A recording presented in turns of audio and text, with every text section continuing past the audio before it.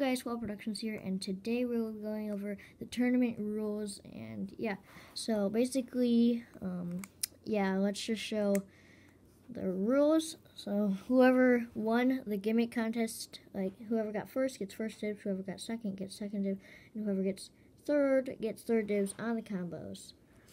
And yeah, you can't choose um, another combo that someone else has chose because I only have one of every piece. And just looking at these two bays, you can't choose custom combos.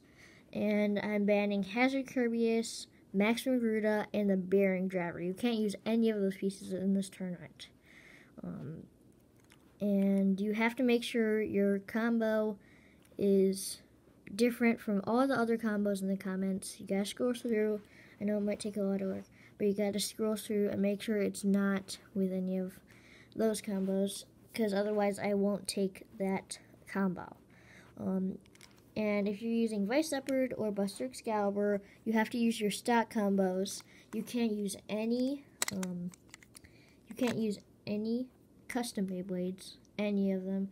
And then you, um, the way you comment is you comment the layer. I pretty much have any layer, except for these two ways. You can't um, use, you have to use stock combos, as I said. You comment the layer, I pretty much have any layer you would use.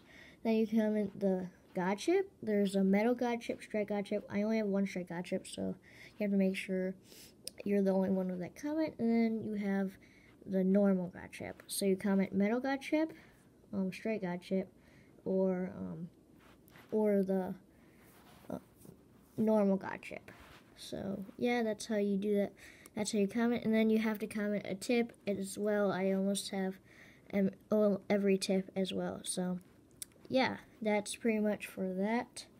I'm taking 16 people for the tournament.